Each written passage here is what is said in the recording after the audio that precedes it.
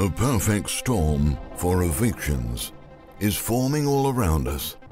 The homeless have no right to turn every park and sidewalk into a place for them to squat. Eviction rates in many U.S. cities have returned to or exceed pre pandemic levels. Close to 60,000 families were evicted just last year. More than 200 tenants here at James River Point have had an eviction case brought up to them this month.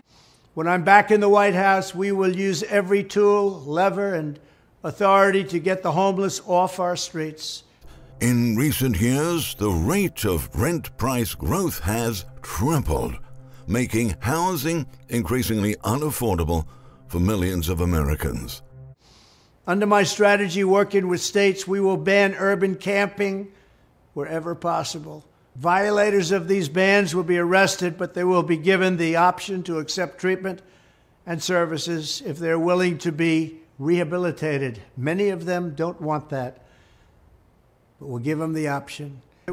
This means that many struggling U.S. families are about to lose their homes as they fall behind payments and evictions start to pile up all across the country. We will then open up large parcels of inexpensive land, bring in doctors, psychiatrists, social workers, and drug rehab specialists, and create 10 cities where the homeless can be relocated and their problems identified.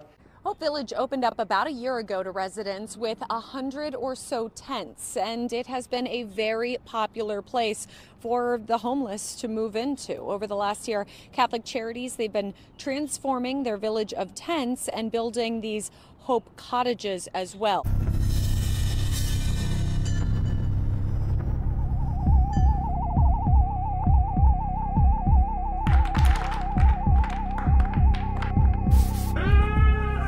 This is a neighborhood in eastern Ybor, and the tiny apartment homes are equipped with electricity, heating, and bedding. The village also has showers and provides meals for the residents here, and they also have a more permanent structure in the work with laundry facilities, a kitchen, and a larger dining facility as well. Now, the village is designed to be a transitional space to help the homeless get back on their feet and into more stable housing.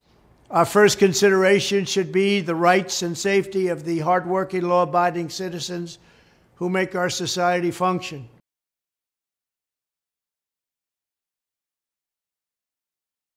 To over 110 million. All infected Americans are being forced into quarantine camps.